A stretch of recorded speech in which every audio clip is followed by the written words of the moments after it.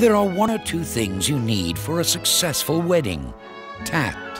So, John, how's that, how's that gorgeous girlfriend of yours? Uh, she's no longer my girlfriend. Ah, dear. Still, I wouldn't get too gloomy about it. Rumour has it she never stopped sleeping with old Bob Delisle, just in case you didn't work out. She is now my wife. A discreet best man. When Bernard told me he was getting engaged to Lydia, I, I congratulated him because all his other girlfriends had been such complete dogs. Although, may I say how, how, how delighted we are to have so many of them here this evening. Delightful guests.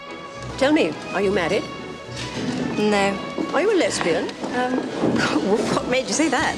It is a bit more interesting than saying, oh dear, just never found the right chap, eh? Quite right. Why be dull? A competent priest. I do solemnly declare that I, Bernard Delaney, to take thee, Lydia Jane Hibbert, to be my awful wedded wife. A loving bride. I do. Coming soon, a film with a message. Don't get married.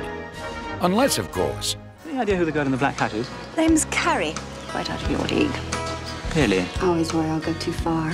You know, in the heat of the moment. Well, how far do you think too far would be then? Maybe this. That might be taking it a little far.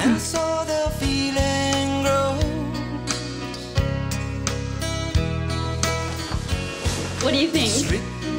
Divine. It's everywhere I go. Um, look. In the words of David Cassidy, in fact, while he was still with the Partridge family, uh, I think I love you. Andie McDowell and Hugh Grant invite you to four weddings and a funeral. May Almighty God bless you all, the Father, the Son, and the Holy Spirit. Spirit.